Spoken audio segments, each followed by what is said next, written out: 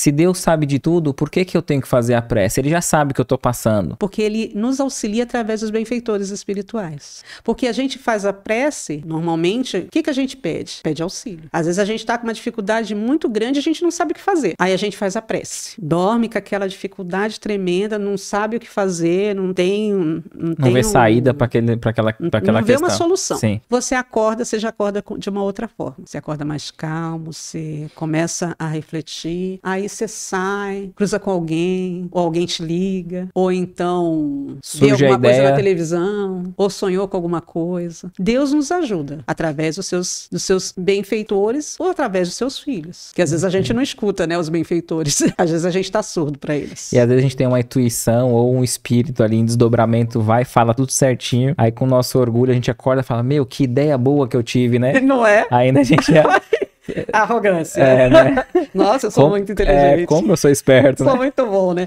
É exatamente isso. Você pega, tá no deserto, né? Tem dois caminhos a seguir. Um tem um.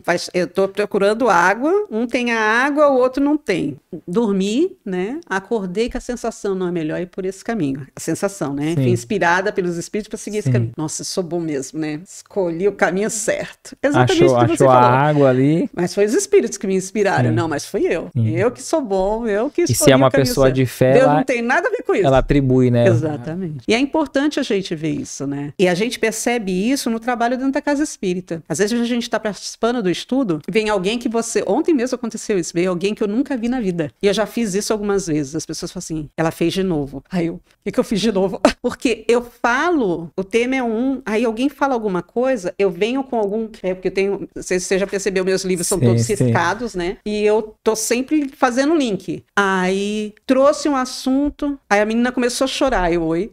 Aí eu, Caiu certinho pra ela ali o que você falou. perfeito. Aí ela falou assim: alguém te falou? Eu falei assim, me falou o quê? Aí depois que eu terminei de falar o que era, o que estava no livro dos espíritos, o que, que a doutrina fala a respeito daquele tema, aí me falaram que ela estava passando por aquilo. Eu já tinha feito isso umas duas semanas anteriores. Então, a gente percebe que no estudo em grupo a gente é ajudado o tempo inteiro. É a Renata? Claro que não é a Renata. Sim. Eu fui inspirada ali pelos espíritos para auxiliar aquela irmã, não é a Renata. E é, e é interessante que quando você fala aí da. Você estava citando e falou da comunicação, o, o, a- o que, que é a prece e tal, aí fala, ah, é comunicação. Mas você vê que comunicação é, é ida e volta, né? Sim. Não é só, o- a prece não é só um, um, ué, um e-mail que você manda Né? e, e fica eu sem. falo com Deus, ele não fala comigo, Então, não. ele isso, é você, se, você entrar nessa comunhão com Deus para também estar receptivo, né? E a gente tá? A gente acha, é aquilo que você falou. Eu vou ter humildade para saber se, se foi Deus que me auxiliou ou vou achar que fui eu? E se a gente acha que é só nós, a gente até deixa de fazer prece, porque a gente acha que não, não foi aquilo que resolveu, né? Sim, exatamente.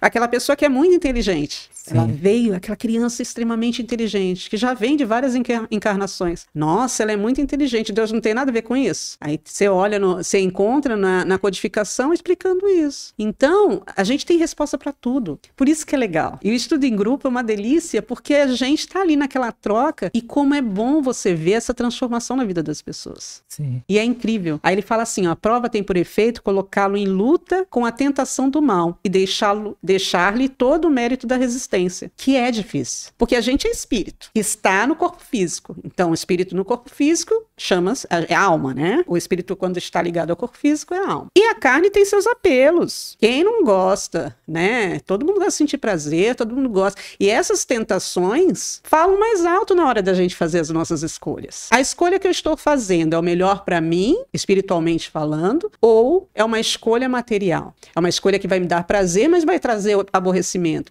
ou vai violar o teu direito. Você entende? Porque eu não posso achar que o meu direito é melhor do que o seu. Eu não posso pedir a Deus que eu seja feliz, mas com a sua desgraça. Eu quero o amor de alguém que é que tem um relacionamento com outra pessoa. Ele me ama e tira a pessoa de, outra que tem um relacionamento sério. A frase da Joana de Ângeles, né? Nenhuma alegria é legítima se vier através de, das lágrimas alheias, né? Entendeu? É, é correto? É isso que eu tenho que pedir para Deus? E Deus tem que me atender? Pedir e obtereis, então tudo que eu pedir, ele vai fazer? Vê como não é simples? Como a gente tem que começar a entender o que a gente pede, tem que ter valores, a gente precisa ter valores. Então que bom que Deus não atende tudo que a gente é. pede, né? É. Porque nem tudo que a gente pede é o melhor pra gente. Sim. O que você achou desse corte? Coloca aqui nos comentários a sua opinião sobre esse tema. Para ver o episódio completo, é só pesquisar Recomeçar Podcast Espírita. E caso tenha ficado alguma dúvida sobre a doutrina espírita, é perfeitamente normal. Procure ler as obras de Allan Kardec.